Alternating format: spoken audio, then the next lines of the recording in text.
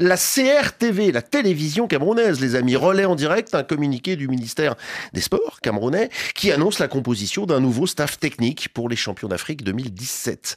Ça, c'est leur dernier titre. Sélectionneur donc, Marc Brice, assisté d'une bonne partie de l'équipe du sélectionneur de la Cannes 2021, Tony Concesao, équipe, comme lui, remercié à l'époque par le nouveau président de la FECAFOOT, Samuel Eto'o. Cette nomination euh, par l'État, en somme, hier, au nez à la barbe de la FECAFOOT, nécessitait une réaction. Elle est venue ce matin, communiqué de Samuel Eto'o et de son équipe, faisant part de son étonnement, confirmant sa mise à l'écart hein, dans le dossier, cet étonnement. Et il annonce que la FECAFOOT va communiquer sans délai on se demande quand sont les délais, parce que c'était ce matin et on attend toujours, sur la réaction qu'elle entend, je cite, réservée à cette surprenante annonce. Ce pourrait être drôle si ce n'était au Cameroun que cela se passe, cinq fois champion d'Afrique, un géant du continent en pleine déconfiture, à n'y rien comprendre vu d'ici, mais peut-être plus clair vu de là-bas, de Douala par exemple, ou de Yaoundé où nous attend le meilleur des consultants. Bah, c'est facile de le dire, pour nous c'est le nôtre, ça tombe bien, le plus grand des gardiens de l'autre temps, celui des titres par les lions. Joseph-Antoine Bell, bonjour. Bonjour Olivier Pran et bonjour à tous. C'est bien amené hein, quand même. Hein. Là, que d'éloges pour vous. Jo, la première question est simple. C'est quoi ce bordel? Euh, Eh bien, il y, y aura toujours bordel, comme vous dites, quand on manque de cohérence. Et là, en l'occurrence, euh, la cohérence donne, fait constater ce bordel-là, mais sinon, quand on y regarde de, très près, hormis justement l'incohérence de certains, eh ben, il n'y aurait pas eu bordel du tout. Euh, vous voulez que je vous explique? Ah oui, bah oui, c'est ça. On voudrait comprendre parce qu'on comprend bien une chose, cette guerre larvée entre le ministère ou l'État et Samuel Eto'o faut pas être grand. Non, il n'y a pas. Il a, pas, a, pas de guerre, il y a euh, euh, une espèce, quand j'ai parlé d'incohérence, aujourd'hui vous avez oublié comment Rigobert Song a été nommé. C'est pas parce que Eto en voulait que ça ne s'est pas passé comme ça se passe aujourd'hui. Euh, le communiqué, la lettre qui nommait Rigobert Song venait précisément de la présidence pour dire au ministre des Sports qu'il peut annoncer que Rigobert Son et sa bande sont nommés. Et à ce moment-là, personne n'a crié que euh, c'était le politique qui avait décidé. Et euh, donc, si on était cohérent, ceux qui ont accepté ça il y a deux ans n'auraient rien à dire aujourd'hui parce que ça se passe exactement comme ça. Et je pourrais vous dire que plus en avant aussi, ça s'est passé comme ça. Ceux qui avaient été nommés l'avaient été nommé de la, rigoureusement de la même manière. Et maintenant, pour ce qui est de l'entraîneur, je sais que vous y serez arrivé, mais je connais aussi la maison, on n'a pas beaucoup de temps, il y a beaucoup de sujets, donc je préfère déjà avancer. pour ce qui est de l'entraîneur, que je ne connais pas. Ben, personne ne le connaît. Ça, nous aurait aidé si vous, vous, l'aviez connu, mais si euh, même vous ne le connaissez pas. Justement, je vais vous, non, je vais vous raconter. Moi, j'ai gagné les deux premiers titres du, Cameroun avec deux entraîneurs qui n'avaient jamais officié nulle part ailleurs. Euh, Rade qui a été champion d'Afrique en 1984, euh, n'avait été nulle part ailleurs en Afrique et n'a été nulle part ailleurs après nous. Claude Leroy a bien été ailleurs après nous, mais il n'a gagné avec personne d'autre. Et il n'avait gagné avec personne d'autre avant. Euh, Pierre Lechantre est venu au Cameroun. Euh, il n'avait entraîné nulle part, sauf une équipe de district. Je crois qu'il était dans le district parisien. Il n'avait rien fait avant, mais il a été entraîneur de Lyon. Euh, Winfried Schaeffer a été entraîneur de, de Lyon. Il a été entraîneur en Allemagne, mais il avait été nulle part ailleurs avant en Afrique. Euh, et on pourrait continuer comme ça. Bros, Hugo Bros a été champion avec le Cameroun. Il avait été nulle part ailleurs avant. Donc, euh, ouais, mais leur CV, les gens poussent. Leur CV était quand même. Leur euh, CV était vierge. Non, leur CV était vierge. Leur CV, je vous le dis, celui d'Ognanovic, vous pourriez fouiller, celui de Claude Leroy, je vais même vous rappeler bien. L'ami Claude venait de débuter une carrière à Grenoble où il s'était fait virer avant d'avoir passé trois mois. Donc il y avait tout pour penser que ce type-là n'avait rien à apporter au Cameroun. Il a été champion d'Afrique. Donc je ne dis pas que celui qu'on a recruté le sera.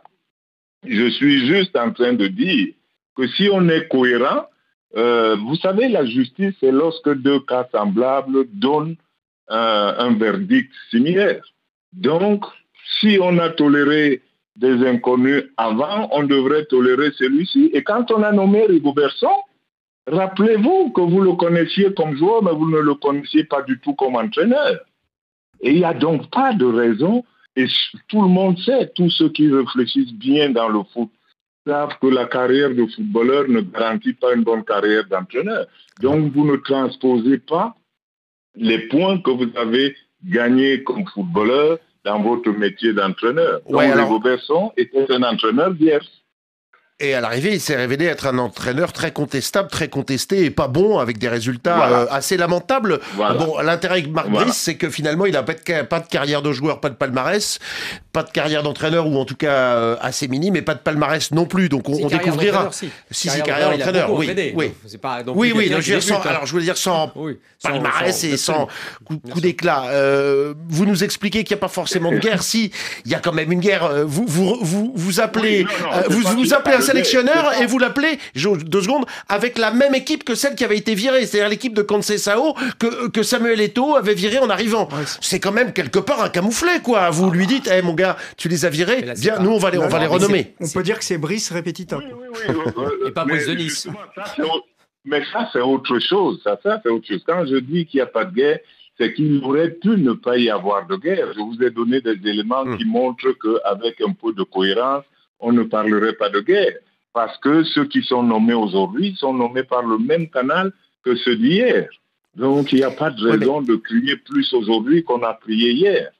Alors, il n'y a pas de raison, mais est-ce que la FIFA, euh, par exemple, euh, imaginons que la FECAFOOT saisisse la FIFA ou que la FIFA décide elle-même, je ne sais pas quel est le processus euh, Étienne, vous qui connaissez bien ces relais-là, euh, il faut quoi Que la FECAFOOT euh, se plaigne à la FIFA pour que celle-ci intervienne? J'imagine quand même assez peu que ce soit son intention d'aller euh, déposer plainte à la FIFA contre son gouvernement. Ça paraîtrait quand même assez ahurissant ça et s'appellera un CSC, assez, quoi. assez, certains, assez peu, assez certains peu envisageable. Certains l'appellent ou le pensent au Cameroun. Oui, après, comme, ça vient, ont... comme ça vient d'être rappelé par, par Joe, euh, il y a eu déjà à de nombreuses reprises des nominations de sélectionneurs par le gouvernement et j'ai pas le souvenir que la FIFA soit intervenue dans le dossier. Euh, la FIFA intervient quand vraiment il y a un pays qui vient prendre possession euh, d'une fédération. Euh, S'il s'agit de nommer un sélectionneur, je pense pas que Gianni Infantino soit aujourd'hui dans tous ses états en se disant je vais aller me m'immiscer dans le dossier euh, de, de, de, de, la fédération camerounaise. Donc euh, je crois qu'il faut rien attendre de particulier de ce côté-là. Donc on va en rester sur ce camouflet. Samuel Eto'o, il peut faire quoi alors euh, Accepter sans broncher et faire ce qu'on lui dit de faire? Pas certain. Alors à première vue, je vous dirais oui, hein, parce que là, pour moi, je parle, je parle d'une guerre. Moi, je vais pas être, je vais être un peu moins ah bah rond oui. que, un que conflit, Pour moi, c'est ah, oui, enfin, guerre, entre ouais. guillemets, évidemment. Ne jouons pas sur les mots, oui, guerre oui. ou conflit, c'est on, vraiment, bon, on va dans le même vraiment, sens. Aujourd'hui, il faut, il faut se souvenir, si vous voulez, euh, il faut avoir un peu de mémoire, euh, et se rappeler que Tony Conceição, l'entraîneur euh, portugais qui, qui, dirigeait le Cameroun lors de la, la Cannes euh, au Cameroun, justement, a été viré par Samuel Eto'o. Contre l'avis du ministre des Sports, qui est le même. Moëllet, hein, oui. Donc, il contre son avis. Et il l'avait très, très mal pris. Et à l'époque, évidemment, euh, Samuel Eto'o avait un peu l'oreille euh, de, alors Paul Biya, si ce n'est au moins de Paul Biya, du moins au moins du secrétaire général de la présidence, qui est un personnage très important au Cameroun, qui est Capital. quasiment, oui, qui est quasiment mon vice-président. Donc il, moment, il est, ils étaient proches, et d'ailleurs il en a parlé assez récemment dans une interview sur France 24, si je ne m'abuse, en disant je l'appelle grand frère, etc. Il y avait des, des liens très forts. Et donc à l'époque, vous aviez le ministre qui était un peu dans la bordure. Et depuis, il y a eu du changement, notamment en février, le discours de Paul Biya. Et puis là, on se rend bien compte que Paul Biya va peut-être se représenter aux prochaines élections, ce qui n'était peut-être pas sûr il y a deux ans. Aujourd'hui, on a cette, euh, sensation, disons. Et ça fait qu'il y a eu, euh, vous avez un mouvement de tectonique des plaques. Et aujourd'hui, Samuel Eto'o s'est retrouvé sur le côté et le ministre des Sports a pris le poids qu'il n'avait pas à l'époque. Et il s'est permis de faire ce qu'il vient de faire, c'est-à-dire d'imposer purement et simplement un entraîneur à quelqu'un qui lui avait imposé un entraîneur la dernière fois. Et comble. Et son staff. Surtout. Et son staff. Et le comble, c'est qu'il a, il a même pris, par exemple, le... comme. comme François Mambic. Ouais, euh, et, et surtout Benjamin Benlock, mmh. qui était lui le secrétaire général oui. ouais. de la FECAFOOT. Coordinateur maintenant des sélections nationales. Coordinateur, c'est d'ailleurs un rôle énorme. Ils l'ont fait à l'envers, quoi. Ah ben, lui, lui, qui était en guerre avec Ghetto, qui a démissionné de son poste, et là on le rappelle, bah, tu vas être là. En plus, c'est coordinateur des équipes nationales, de toutes les équipes nationales. C'est un poste très ah, important au Cameroun. Donc, vous voyez, ce qui s'est passé là, c'est vraiment un combat de chef. Simplement, maintenant, la question, c'est comment peut répondre Eto. Eto, il a eu ce premier communiqué. Maintenant, on attend un peu plus. Ce qui est sûr, c'est que vous savez, bah, Samuel Eto, c'est quelqu'un qui a une très... non, non, mais qui a une très, oui, mais vous l'aurez certainement. Mais c'est Samuel Eto a une très forte personnalité. Alors, soit il veut s'opposer à quand même un choix qui a été pris par le président de la République, comme l'a dit Joe. La lettre, elle est claire, nette et précise. mais attention, vous êtes au Cameroun. Vous vous vous opposez pas comme ça à Paul Biya, comme ça en se disant bah tiens, eh, oh, je suis complètement contre. Non, attention. Là aujourd'hui, il faut avoir un peu l'intelligence de parfois savoir faire un pas de recul, parce que vous avez un combat de chef. Mais si vous êtes frontal avec le président de la République dans un pays qui peut être un petit peu dur parfois, vous n'êtes pas sûr de gagner. Et au contraire, moi je pense que vous êtes sûr de perdre. c'est plutôt comme ça qu'il faut le dire. Donc, Vraisemblablement. Donc, mais visiblement, visiblement, Samuel Eto'o est très combatif. Il ne euh, il veut pas les baisser les bras. Alors, qu'est-ce qu'il nous qu'est-ce qu'il compte faire là? Euh, Je vois pas 50 000 solutions. Hein. Pourquoi pas espérer euh, nommer quelqu'un lui-même, espérer. Vous savez, il n'y a pas 50 000 euh, possibilités. mais, s'il le... fait, ça veut dire que là, il va frontalement contre la présidence de la République. Et là, vous pouvez pas faire ça. Enfin, moi, ça me paraît. je sais que vous avez dit ça n'est pas possible qu'il le fasse, mais est-ce ben, que dans les faits, il peut saisir la FIFA? Est-ce qu'il peut Voilà, on l'a compris. Vous pensez qu'il ne le fera pas, qu'il ne jouera pas contre son camp. mais, mais peut-il le faire, Étienne? Oui, il peut le faire, bien sûr. Il est établi qu'il y a une ingérence du politique dans la gestion de la fédération, puisque le, la nomination d'un sélectionneur, a priori, mm. dans les pays euh, normalement constitués, ça relève pas du chef de l'État, mais plutôt euh, du président de la fédération. Euh, après, est-ce qu'il y a une intention de le faire? Est-ce que Gianni Infantino lui-même aurait envie d'être saisi? Et je pense qu'il pourrait aussi lui-même conseiller d'essayer de calmer le jeu, peut-être même d'intervenir pour essayer de calmer le jeu, puisqu'on sait que la FIFA, depuis longtemps, et Gianni Infantino aujourd'hui, est très proche aussi des fédérations africaines et du monde africain en général. Et de Samuel Eto'o en particulier Non, pas du tout. Euh, euh, ah Gianni Infantino ah, Pas du tout Pas du tout Il a été Olivier Oui, pas du tout. Oui, Olivier.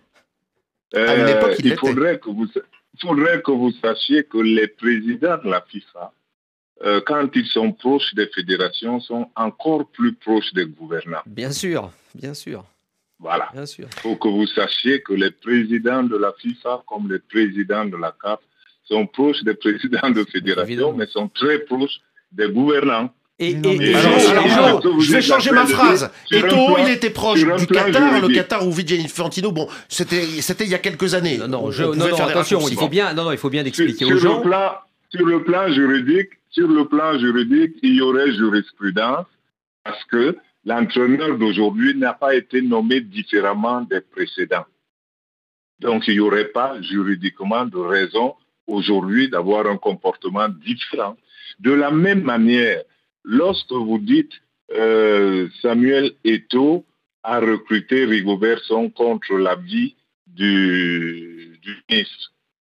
Alors, souvenez-vous avec lui ou rappelez-le lui. À ce moment-là, ce même président qui l'a laissé faire. Sauf, sauf que ce président, dans sa sagesse, il faudrait que vous le sachiez, il a annoncé après, après euh, l'échec lamentable que nous avons vécu, Olivier, le président, le 10 février, la veille de la finale, a dit au Cameroun qu'il avait, euh, qu'il était déçu comme eux et qu'il avait chargé son gouvernement et le ministre en charge des sports de régler ces problèmes-là. Ça veut donc dire que clairement aujourd'hui, les Camerounais ont entendu ce que euh, le gouvernement et le ministre chargé des sports ont à dire au chef de l'État qui a forcément approuvé ça. Donc, ils agissent au nom du chef de l'État. On rappelle celui qui hier, lui qui hier a eu recours au chef de l'État pour faire ce qu'il voulait contre l'avis du ministre, euh, vous comprenez mon problème de cohérence. Ne peut pas aujourd'hui, lorsque quelqu'un d'autre a eu recours au même chef de l'État qui a constaté l'échec parce qu'il lui a donné carte, carte blanche. Euh, on a nommé Rigobertson, on a donné de l'argent, on a rajouté quand il en a demandé. Et pour ce résultat-là, il faut vous souvenir des matchs que vous avez commentés en Côte d'Ivoire. Et donc. Euh, mais, je m'en souviens bien, certains ensemble, fiasco, euh, qualification miraculeuse pour les huitièmes de finale en battant la, Gambie euh, au, bout du bout du suspense 3-2. Avant, il y avait eu un match nul contre la Guinée, une défaite contre le Sénégal, et finalement une élimination sans gloire en huitième face au, au Nigeria. Le torchon brûle actuellement entre le ministre des Sports et Samuel Eto'o. Salut à toi et bienvenue dans cette vidéo. Dans cette vidéo, on va épiloguer sur la polémique actuelle entre le ministre des Sports et Samuel Eto'o. Mais avant de commencer, si tu me découvres à travers cette vidéo, ici on parle de foot. Ici, nous, on est passionné par le foot.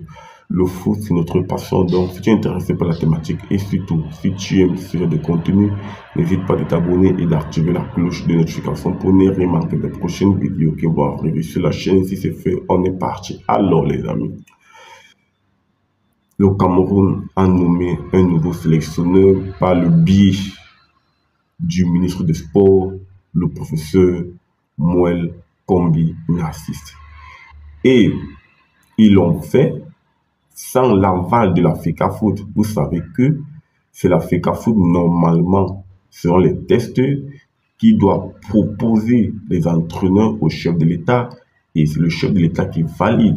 Sauf que la procédure ne s'est pas passée comme prévu. C'est le ministre des Sports qui a nommé directement l'entraîneur et ça n'a pas plu à la FECAFOOT. La FECAFOOT apprend au même titre que le public le nom de l'entraîneur, à l'occurrence ici, Marc Brice. Un entraîneur dont moi je ne connais même pas, mais on va en parler dans une prochaine vidéo sur le profil de l'entraîneur. Déjà, moi je vais dire ici que le président de la République, il a lâché Samuel Eto'o. Le président a lâché Samuel Eto'o, puisque tout le monde sait que lorsque Samuel Eto'o a pris la FECA Foot, il avait quasiment les mains libres. Il avait euh, la présidence dans sa poche. Vous pensez que quoi? Vous pensez que la nomination de Rigo Besson, vous pensez que euh, c'est pas c'est moins Combi qui l'a nommé? Tout le monde sait que c'est Samuel Eto'o via la présidence. Tout le monde sait que c'est Samuel Eto'o via la présidence.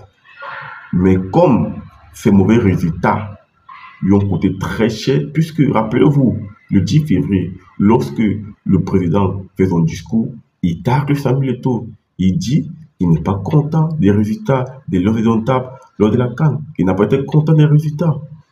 Le président dit qu'il n'a pas été content des résultats de Samuel Eto'o lors de la Cannes en Côte d'Ivoire. Et du coup, il avait dit que euh, le gouvernement va reprendre les choses à main. Donc Samuel Eto'o, à mon avis, il paye ses mauvais résultats. Il paye ses mauvais résultats. Lorsque euh, il arrive à la FECAFOOT, il avait quasiment le plein pouvoir. Il avait quasiment le plein pouvoir, les amis. C'est presque le seul président qui a eu autant de pouvoir. C'est presque le seul président qui a eu autant de pouvoir. C'est juste qu'il paye ses mauvais résultats. Il paye ses mauvais résultats avec la sélection. Il paye ses mauvais résultats.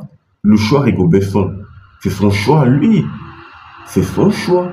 Beaucoup de personnes vont me dire que non, ce n'est pas lui qui joue sur le terrain, etc. Mais c'est lui qui a choisi Rigobesson. C'est lui qui a choisi Rigobesson, les amis. Le choix Rigobesson, c'est le choix des taux. Personne n'a mis l'âme euh, sur la tête de Samuel Eto'o pour dire choisir. C'est lui-même qui l'a choisi. il savait très bien les compétences de Rigobesson. Lorsque tu peux prendre Rigobesson, tu sais très bien que c'est un entraîneur qui n'a rien prouvé par le passé. Tu sais très bien que partout là où il est passé en tant que jeune, il n'a rien prouvé. En tant qu'entraîneur, il n'a rien prouvé. Mais tu prends quand même le risque de le prendre et de le nommer, puisque à la base, le professeur Moël Combinarciste, il voulait conserver Sao. Et Samuel Eto'o voulait Rigobertson. Il y a eu donc euh, un clash entre guillemets entre les deux parties. Et finalement, c'est le parti de Samuel Eto'o qui a gagné, puisque Samuel Eto'o euh, euh, a nommé Rigobertson entre guillemets. Il a proposé Rigobertson et le président a approuvé. Donc, c'est Samuel Eto'o qui avait gagné la première bataille. Maintenant, comme les résultats n'ont pas suivi, le père a repris les choses en main. Le père a remis le pouvoir au gouvernement. On a remis le pouvoir au ministre des Sports. Donc moi, je pense que Samuel Eto'o paye ses mauvais résultats. Il paye ses mauvais résultats. Si le Cameroun avait eu des résultats euh, respectés pendant la Cannes, moi je pense que Samuel Eto'o devait toujours avoir le pouvoir. Il perd le pouvoir parce qu'on n'a pas les résultats. Il a perdu le pouvoir parce qu'on n'a pas les résultats. Et moi, je pense que le père l'a lâché. Le père l'a clairement lâché. Le président l'a lâché, les amis. Donc, moi, je pense qu'il doit être intelligent, Samuel Eto'o, il doit être intelligent. Il ne doit pas entrer dans une guerre, puisque vouloir tenir tête au chef de l'État, je ne pense pas que c'est la bonne idée. Après, partage-moi ton ressenti en commentaire sur la thématique. Et si ce n'est pas encore fait, n'hésite pas à t'abonner, d'activer la cloche de notification pour ne rien manquer de prochaines vidéos. on se dit à très bientôt pour notre vidéo. Ciao, ciao.